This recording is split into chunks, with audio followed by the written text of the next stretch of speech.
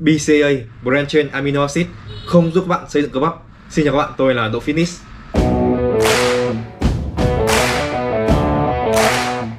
Hôm nay chúng ta sẽ bàn về BCA, các acid amin chuỗi nhánh. Nhiều người thường dùng BCA với cái suy nghĩ là nó giúp các bạn xây dựng cơ bắp, nhưng điều đấy là thực sự là một hiểu lầm. Acid amin là thành phần cấu tạo lên protein.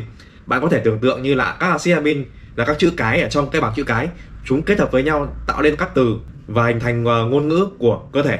Thì acetamin amin kết hợp theo nhiều cách khác nhau, từ đơn giản đến phức tạp để tạo ra các cấu trúc protein trong cơ thể, từ cơ bắp, da, enzyme, hormone đến xương gần như toàn bộ cơ thể đều được tạo thành từ các axit amin có ba loại các axit amin chuỗi nhánh chính đấy là leucine, isoleucine và valine.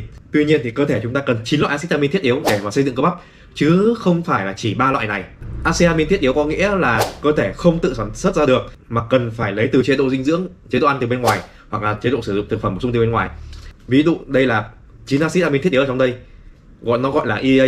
Nếu mà bạn có thể bổ sung thì nên bổ sung cái loại EA này hơn là cái loại BCA như này việc bổ sung ba cái loại axit amin chuỗi nhánh sẽ khiến bạn thiếu 6 loại còn lại và như vậy, bạn sẽ không đủ chất để mà cơ thể xây dựng cơ bắp hiện tại thì không có nghiên cứu nào trên con người chứng minh là việc uống BCA dưới dạng bột hoặc là viên sẽ giúp tổng hợp protein hoặc thúc đẩy sự phát triển về cơ bắp và thêm một cái nữa là BCA cũng không thể nào giúp ngăn ngừa sự mất cơ.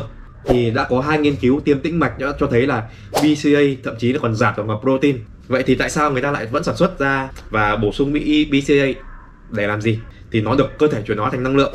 Khi luyện tập thì bạn có thể cảm thấy là tăng năng lượng, hiệu suất luyện tập tốt hơn một chút, nhưng mà không có sự phát triển cơ bắp nào xảy ra. Uống BCA trong lúc tập có thể là làm cho nó có một xíu về đường ngọt có nghĩa là đường sucralose trong đây, nó sẽ làm cho cái tiết insulin của bạn lên và tăng cái năng lượng của lên, giúp các bạn luyện tập nó thoải mái hơn và có thể là tăng cường hiệu suất luyện tập một chút, hỗ trợ luyện tập thôi.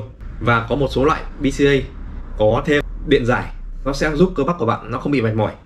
Và có uống những cái thức uống như này trong lúc tập, nó cảm giác như kiểu là à, cảm thấy thoải mái trong cơ thể hơn. Người ta hay dùng để giải khát trong lúc tập thôi nhé để cơ thể phục hồi, sửa chữa hay là phát triển cơ bắp thì bạn cần 9 loại axit amin thiết yếu như thế này, như thế này, chín loại axit amin thiết yếu. Và một điều đáng chú ý là 70% lượng protein bị mất đi trong cơ thể sẽ được tái sử dụng. Điều này có nghĩa là khi mà nhu cầu protein trong cơ thể cần thực sự là không cần cao như bạn nghĩ đâu. Khi mà bạn thực hiện chế độ nhịn ăn, cơ thể bắt đầu quá trình autophagy. Nó có nghĩa là tự tiêu hủy các protein cũ và hư hỏng và tái sử dụng protein này có thể còn cao hơn 70% vậy là tôi vừa giải thích cho các bạn sự hiểu lầm về BCA khi có đủ 9 loại axit amin thiết yếu thì cơ thể chúng ta sẽ có khả năng phục hồi, sửa chữa và phát triển cơ bắp đúng cách. Cái BCA này để để chỉ để giải khát trong lúc tập và có thể bổ sung điện giải nếu mà tùy từng loại. Cái này mới gọi là thiết yếu này. Chín loại axit amin này sẽ giúp các bạn xây dựng, phát triển và phục hồi cơ bắp một cách hiệu quả nhất. Cảm ơn các bạn đã theo dõi video của tôi.